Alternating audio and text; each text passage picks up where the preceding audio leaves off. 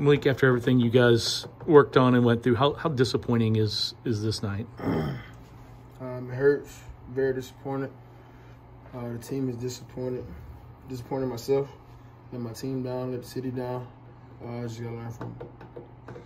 What was the biggest, maybe the biggest thing that affected that? Because it seemed like a lot of things were, as coach said, self-inflicted. Like it was a lot of mistakes that that you guys made. Uh, yeah, we did make a lot of mistakes. A lot of mistakes.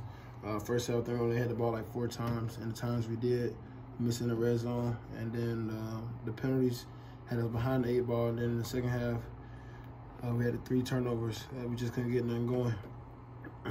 You guys had some big plays, you know, whether that have been, you know, Mari having the 45 yard catch or Tyler.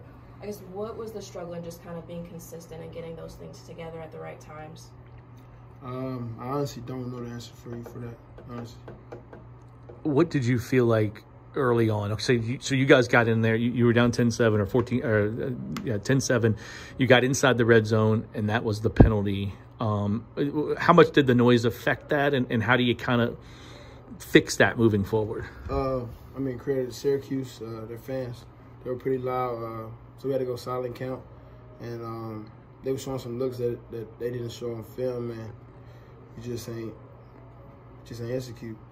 What were those looks, or what did they do defensively to kind of, you know, change up or, you know, just. Uh, they were taking away our big plays, and they was they just played harder than us. They wanted it more. You just gotta give it to those guys. Like I know you're hard on yourself in the way you prepare and the way you get ready. What do you, how do you move on mentally from this as a, as a competitor, um, and, and, and try to? You got a short turnaround. Yeah, I mean, well, mentally, um, I mean, I mean, I'm lost for words. Honestly, just, we just gotta play better. I gotta play better. We all gotta play better. And then being a short week, what are some areas that you can kind of pinpoint that you want to work on, you know, sooner than later? Um, we just gotta take away the self-inflicted things like holding penalty, the false starts, um, not hitting, not hitting guys when they're open, and just taking what the defense is giving and not forcing it.